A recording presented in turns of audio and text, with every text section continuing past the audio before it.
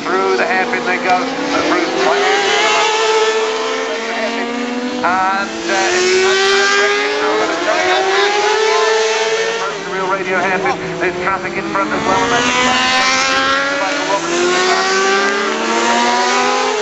The real radio hairpin, the very last fight. Into the hairpin they come, and it's Michael Robertson who has the lead. Bruce Birnie closing up,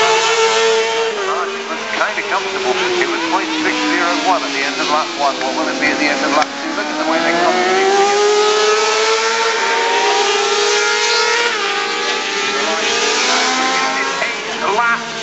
coming up to start the last lap and Bruce is absolutely on it. Michael Robertson squeezing ahead and if he can get it stopped enough and get through the corner and carry the speed into the back. So uh, absolutely